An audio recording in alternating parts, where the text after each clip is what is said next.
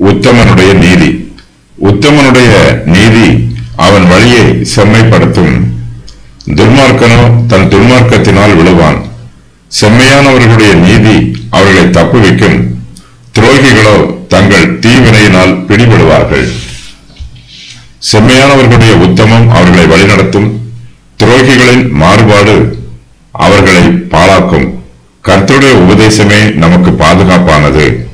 கர்த்தருடைய கற்பனைகளுக்கு நாம் கீழ்ப்படிந்து ஜீவிக்கும் போது நமக்கு தெய்வீக பாதுகாப்பு கிடைக்கும். நீதிமான்கள் தேவனுக்கு பிரியமான வழியில் நடப்பார்கள்.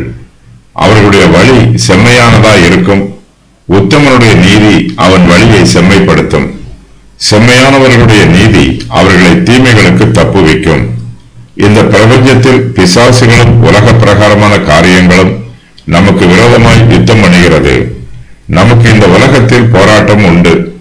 அந்தகார லோகாதிபதிகளோடும் அந்தகார வல்லமைகளோடும் நாம் போராட வேண்டும். இந்த போராட்டத்தில் நாம் தேவனுடைய சர்வாயுத வர்க்கத்தை தரித்துக் கொள்ள வேண்டும். செம்மையானவர்களுடைய நீதி அவர்களுக்கு தலைச்சீராவை போலவும் மார்க்கவசத்தைப் போலவும் பாதுகாப்பாய் இருக்கும். துன்மார்க்கன் அநீதியின் பாதையில் செல்லுகிறான். அவன் தன் துன்மார்க்கத்தினால் விழுவான். பிறருக்கு தீங்கு செய்கிறவன் தனக்குத்தானே தீங்கு செய்கிறான்.